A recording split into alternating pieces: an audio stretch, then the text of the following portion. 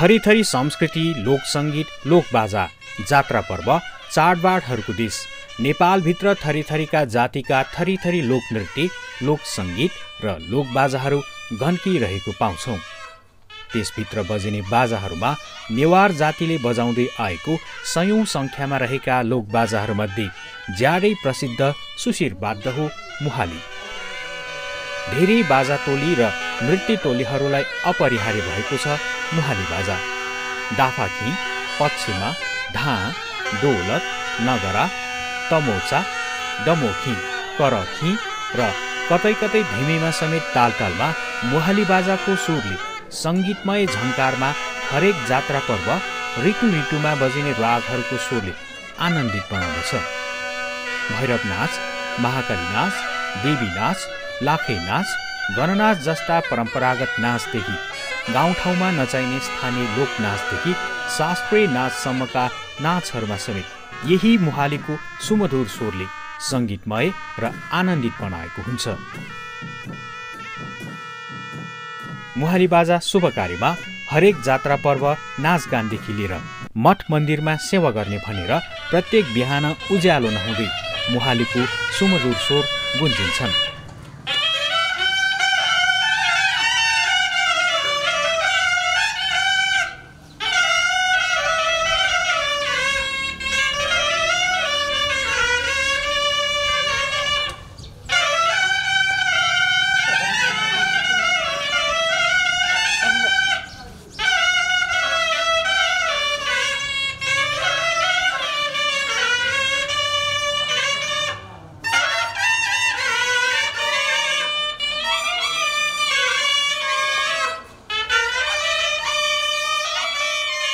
नेपालीहरूको ठुलो चाड दसैँमा जमरा राखेको दिनदेखि घर घरमा गई जमरालाई मालश्रीको धुन सुनाउने भनेर त्यही मुहालीको सुमधुर धुनले जमरालाई आठदेखि नौ दिनसम्म सेवा गर्ने भनेर घर घरमा गई मुहाली बजाउन जाने चलन छ।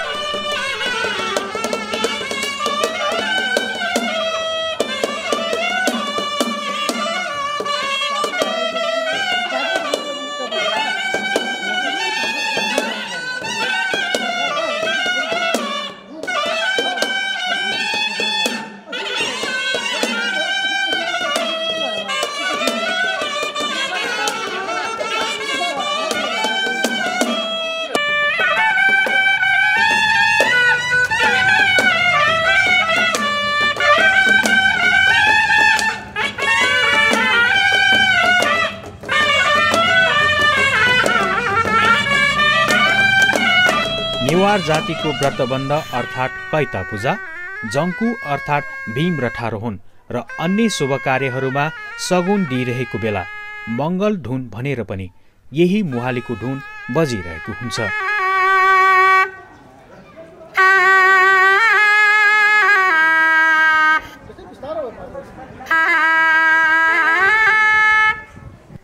ठुल्ठुला पूजाहरूमा पञ्चबली पूजाहरूमा र कुनै पनि गुठी खल डाफा खल सरस्वती पूजाहरूमा पनि मन्दिरमा पूजा लिएर पूजा गर्न जाँदा सबैभन्दा अगाडि त्यही मुहाली बाजा बजाएर गइरहेको हुन्छ। देवाली पूजामा जाँदा त झनै महत्त्व राख्दछ मुहाली बाजाले।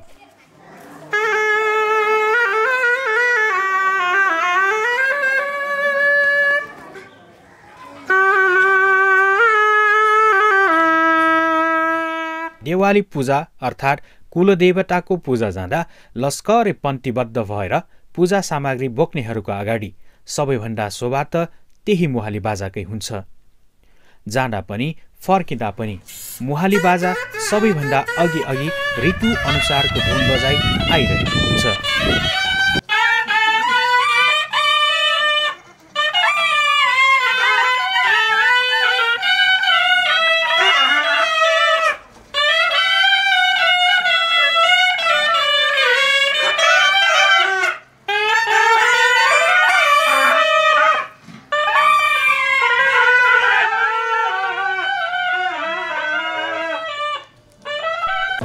कुनै पनि जात्रा पर्व र चाडबाडमा हुने परम्परागत नृत्य टोलीहरूलाई त झन् मुहाली बाजा बिना एक सर हुन्छ। नेवार समुदायमा विवाहहरूमा पञ्चे बाजा भनेर यही मुहाली बाजा बजाएर दोलही लिन जाने चलन छ। मुहाली दुई ढोलक एक टमौचा एक बबुचा मजुरा एक गरी पाँचजनाले बजाउने भएकैले यसलाई पञ्चे बाजा भनिन्छ। अचेल मुहाली बाजा बजाएर दुलही भित्राउने चलन हराइसकेको छ। अब यो मुहाली बाजा नेपालको आफ्नो बाजा यो आफ्नो हुँदाहुँदै पनि हामीबाट बिरानो मुलुकमा यो पुगेको कुराहरू सुन्दाखेरि एकदम दुःख लाग्छ। यसमा चिन्ता गर्ने मान्छेहरू धेरै कम मैले देखेको छु। र वास्तवमा यो हाम्रो मौलिक बाजा हो र यसलाई संरक्षण गर्नको निम्ति यो एकाडेमी मात्रै नभएर अब यसलाई चाहिँ सोच्नै पर्छ भन्ने कुराहरूमा चाहिँ म निर्क्युलमा पुगेको छु। किन यदि यसरी हाम्रा आफ्ना मौलिक बाजाहरूलाई हामीले संरक्षण गर्नु सकेनौँ भने हाम्रा यस्ता धेरै बाजाहरू छन् जो अरूले आफ्नो आफ्नो बनाउँदै हिँडेका छन्। हाम्रो संस्कृति जोगाउनको निम्ति हाम्रा यस्ता मुहाली जस्ता बाजाहरू त्यस्ता विभिन्न हाम्रा पुराना लोपोन्मुख बाजाहरू छन् त्यसलाई संरक्षण जुटौँ भनेर म एउटा अभियानमा लागौँ भनेर म अनुरोध गर्न चाहन्छु।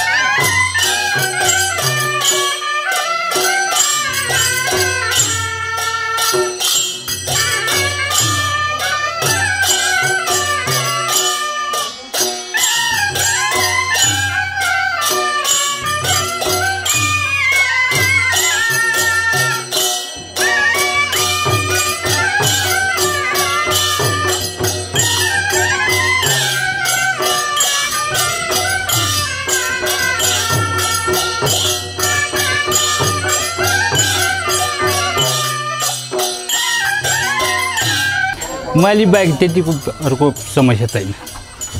माली नै हो। माली बजा न बजाउनु बजाउनु नहुने नभइकन त्यो नौ नौ बजा निकाल्नै गाह्रो हुन्छ। मुख्य माली नै चाहिने यो बाजा पनि बोकेर नै हिँड्नु पर्यो अब मैले पनि हिँडेर नै बजाउनु पर्ने।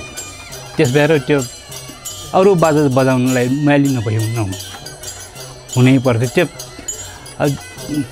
अब त्यही नभएर हाम्रो यो गुलो बाजा नभएको नै अब भन्नु पर्दाखेरि पच्चिसौँ वर्ष तेइस वर्ष पच्चिस वर्ष भइसक्यो। अब मैले बजाउनलाई त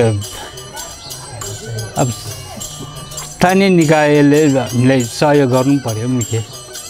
अब नौ बजा भन्दाखेरि मैले बाहेक अरू त त्यतिको सुहाउँदैन त्यस भएर त्यो मैले नै चाहिन्छ। गुला पर्वमा एक महिना गुला बाजामा सुर बाजाको रूपमा सिलु गीत जय नमो र अन्य मौसम अनुसारको धुनमा गुला बाजा बिहान बिहान मठ मन्दिर बिहार बिहारमा घुमिरहने मुहाली बाजाको मिठो धुनमा गुला पर्वको मनोरम दृश्यमा पनि मुहाली बाजाकै महत्त्व हुन्छ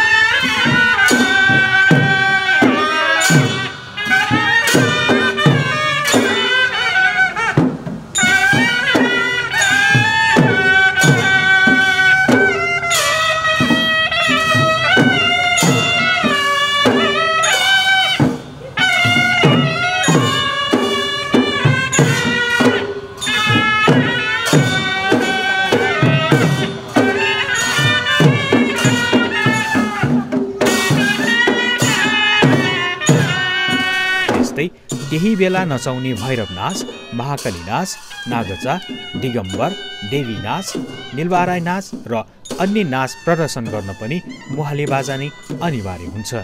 अमूर्त कलाको कुनै पनि नाचहरू नचाउँदाखेरि अत्यावश्यक रूपमा रहने र फरक शैलीको फरक मिठास दिने चाहिँ मुहाली बाजा हुँदो रहेछ। मुहाली बाजा भन्दा महाकाली पनि पूर्ण नहुने भैरव नाच पनि नहुने सल्चोटाखालाई पनि चाहिने यी कुराहरू चाहिँ हामीले महसुस गरेका छौँ। तर महाली बजाउने कलाकारहरू सबैभन्दा बढी उपत्यकाभरिमा मध्यपुरमा रहेको छ भन्ने सुनिन्छ। तर चाहिँ अहिले मध्यपुरमा चाहिँ सङ्ख्या कम भएर कुनै कुनै महाकालीको लागि भक्तपुरबाट पनि ल्याउनु पर्ने भइरहेछ। भने चाहिँ कहिलेकाहीँ बाजे नहुँदाखेरि अर्को विकल्प पनि गर्नुपर्ने चाहिँ बाध्यताहरू भइरहेछ। त्यसैले मुहाली बाजा बिना अमूर्त कलाहरूको वास्तविक संरक्षण चाहिँ अपूर्ण हुँदो रहेछ। त्यसैले चाहिँ मुहाले बाजालाई चाहिँ संरक्षण गर्नुपर्छ भने हामी एउटा अभियान जस्तै चलाइराखेका छौँ। तालिमहरू सञ्चालन गर्ने कोसिस गरिरहेका छौँ।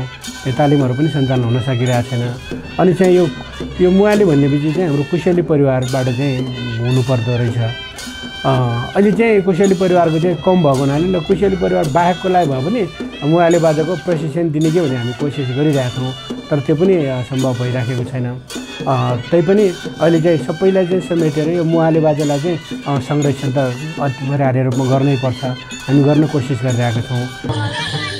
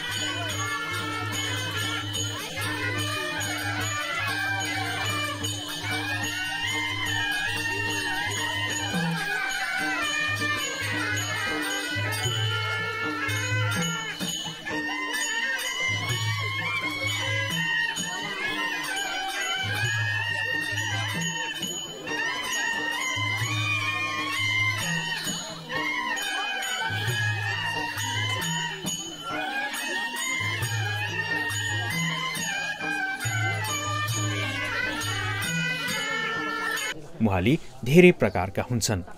साधारण मुहाली पूजा मुहाली पुकी मुहाली भमरा मुहाली रसन मुहाली नमोठ मुहाली गुजराती मुहाली सहनाई मुहाली दमाई मुहाली चा टु मुहाली देशी मुहाली आदि आदि। नेवारहरूले बजाउँदै आएका छालाले मोडेका धेरै बाजा भए जस्तै फुकेर बजाउने सुशील बाजा स्वर बाजामा विशेषतः मुहाली बाँसुरी नै मुख्य हुन्। यी बाजाहरूमा बीचमा छिद्र प्वालहरू हुन्छन्। यसबाट विभिन्न स्वरहरू निकालिन्छ। अन्य सुशील वाद्यहरू पोङ्गा काहाँ नेकु हो ढ्वाती आदि पर्छन्। यिनमा भने बीचमा प्वाल हुँदैन। त्यसैले मुहाली गए बाँसुरीमा चाहिँ विभिन्न सुर रागमा बजाइँदैन। आफ्नै सुरमा मात्र बजाइन्छ। यी मुहाली बाजा मल्लकालदेखि नेपाली वाद्यवृन्दको प्रमुख स्वर बाजाको रूपमा बज्दै आएका छन्।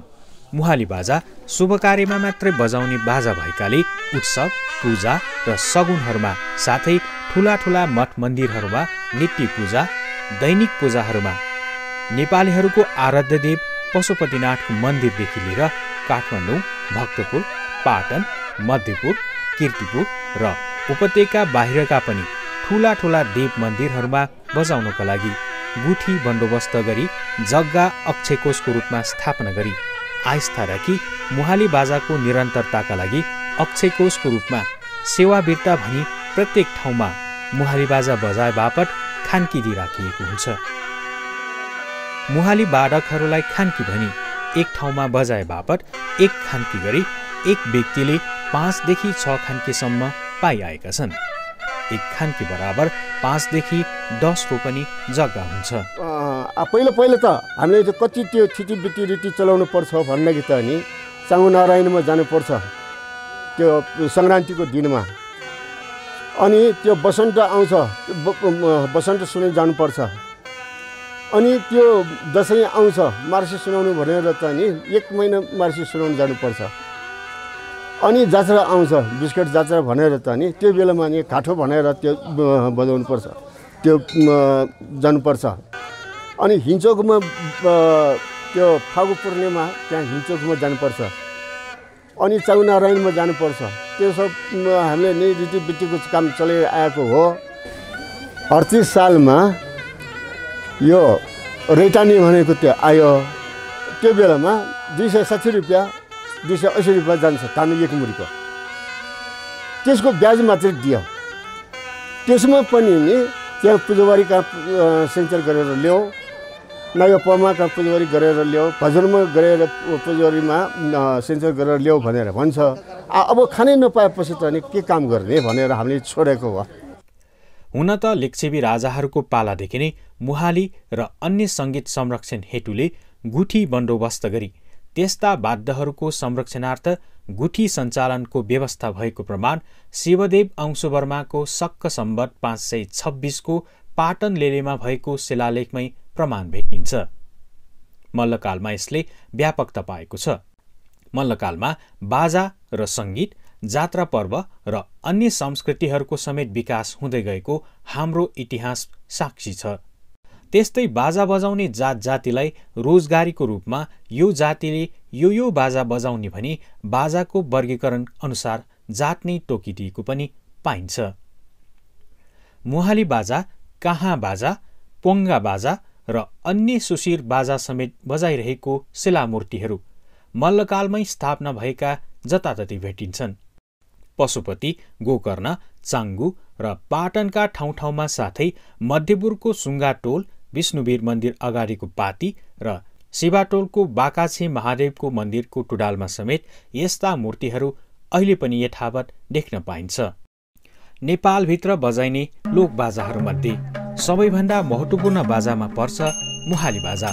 यी बाजा सबै लोक बाजासँग र परम्परागत नृत्यसँग पनि मुख्य स्थान ओगतिरहेकाले पनि जहाँ पनि मिल्ने लोक धुन शास्त्रीय धुन आधुनिक धुन र कुनै पनि सङ्गीतमा बजाउने बाजा हो मुहाली।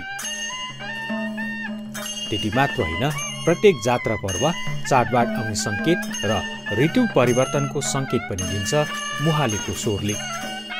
जसको सुमधुर स्वरले वर्ष दिनमा हुने ऋतु परिवर्तनका सङ्केतहरू प्राप्त हुन्छ। ऋतु ऋतुमा बजिने लोकधुनहरूको स्वरले हप्ता पाक्षिक महिना र ऋतुहरूमा आइरहने चाडपर्वमा बजिने नेवार समाजको फरक फरक लोकधुन र समय समयमा बजाउने धुनहरूले जात्रा पर्वको सम्झना दिन्छ। र एक दिनमा पनि चार पहरको चार भिन्ना भिन्नै धुनहरूले दिनको पहर छुट्याइदिन्छ। जस्तै बिहान बजिने बिहाचुली दिउँसो भैरवी बेलुकी विभास र राति ब्याग रागको धुन बजाइन्छ।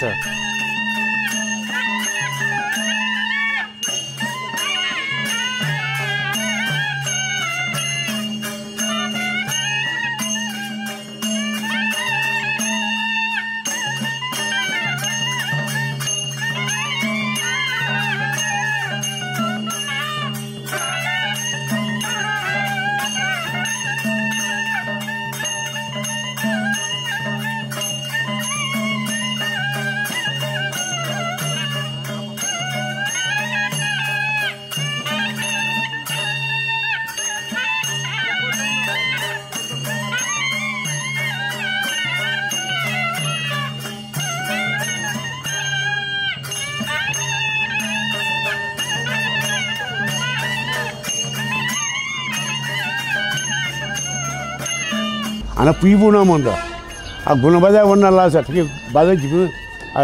टाइम देमु नै मरु झुगे जम्मै समयतिर गुण बजाऊम खोला ढास झुकै देमुख अहिले मैले मलाई झिम्ब थापा झुकिखे बाजे पिप मर हिम देखि आफू बाजे झिन्दा बाजेबार नै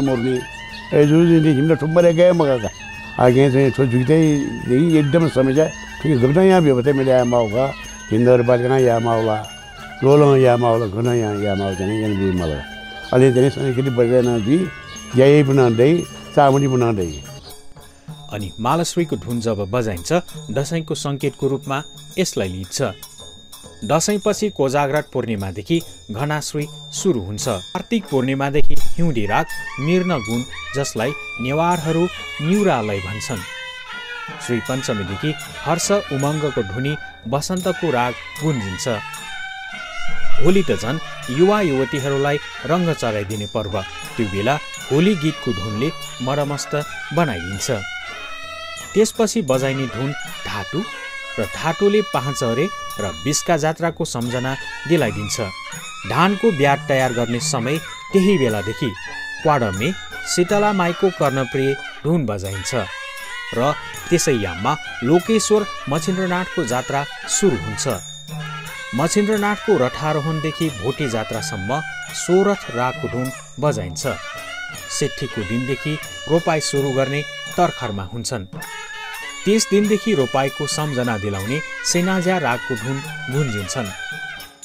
गठामुगसम्म र गठामुगदेखि वर्षामास अथवा सिलु तीर्थको मेला लाग्ने भएकाले सिलुको सम्झना दिलाउने सिलुमेको धुन सुरु हुन्छ। गाई जात्राको बेलासम्म गाई जात्रा लगत्तै वर्षा याममा गाउने टोकज्या राग अथवा धान बालीमा गोडमेल गर्ने बेला गाउने गीतको धुन सुरु हुन्छ। कागे अष्टमीदेखि प्रत्येक गाउँठाउँमा दसैँको लागि तम तयारीमा लागेको हुन्छ।